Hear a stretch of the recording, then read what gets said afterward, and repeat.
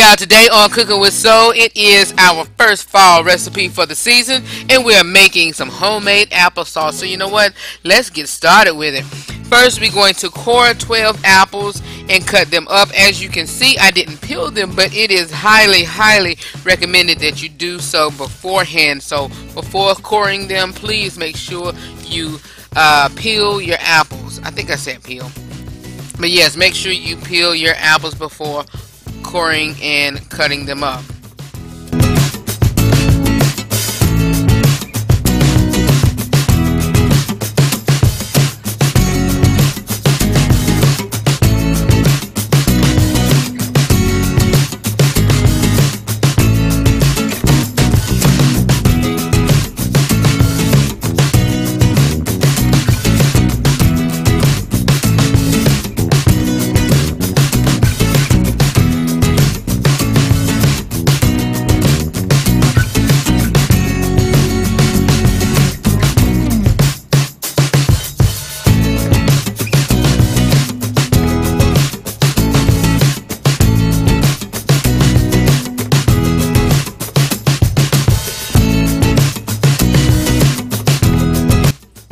Okay, so after you got them cored and peeled and and cut up, you're gonna wash them thoroughly, and then you're gonna add your apples to a pot. And what I'm going to be doing, putting the ingredients in the bottom, but what you're gonna do is add water to this pot. I'm not for sure how much water I use, but pour. You're not gonna cover the apples, but you're gonna pour the water in there until you fill them. And as you can see now, at, you're gonna pour the water in there until you can see it. But as you can see now I'm adding some lemon juice. And then after that you're going to add in your cinnamon and your sugar but I am adding about three or four tablespoons of the cinnamon and the sugar and then my water. Like I said you're gonna pour that in there until you can see it. You're not gonna cover your apples but you're gonna do that. You're gonna pour your water in there until you see it. But as you can see right now I am mixing it up. Everything is well combined or trying to get it well combined. Your cinnamon your sugar your lemon juice the water and get it all mixed up y'all it's going to be smelling really good and delicious up in your house, y'all. This is a great fall recipe that you can try, um, you know, for the holidays. And as you can see, I'm looking at my water, and once while I'm doing that, it, you want your water to be like a little reddish tint color because of the a brownish tint almost because of the brown sugar and the cinnamon and the, the lemon juice and all the ingredients that I'm saying. But as you can see, is is at that uh, color that I want to get it.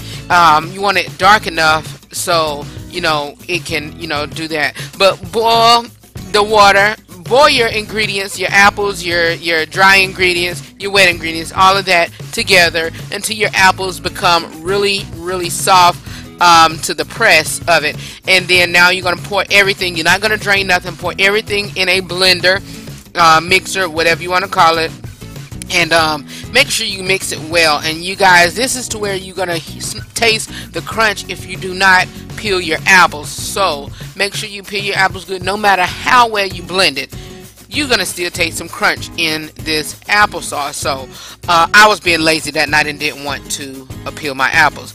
But uh, make sure that everything is in your blender, your mixer, whatever, and mix it well until you see everything uh, is well combined you don't see no chunks or anything. Y'all, this was so good and so delicious. Oh my gosh, so good and so delicious. It's it's really good instead of you know buying it store bought. But um, make sure you serve it in a container. You can serve it hot for in the morning, cold night, or you can you know put it in the refrigerator and chill for until it gets done or whatever. But that's it, you guys. Baby loves it, children loves it, and adults love it. This your boy Redd. This is a great applesauce for the holidays. Know that I love you for real, and always remember to live every day, laugh every moment, and love beyond words. I'm out of here. Peace. Hey, thank you for watching. Make sure you comment, rate, and subscribe if you have not done so. Also, click this video that was previously aired. Know that I love you for real, and always remember to live every day, laugh every moment, and love beyond words. I'll see you soon. I've been close enough to see just what the hood do. Told him boy be reaching as he was under your hood, dude. And so we grind to show the people the way your crisis narrow like looking through people.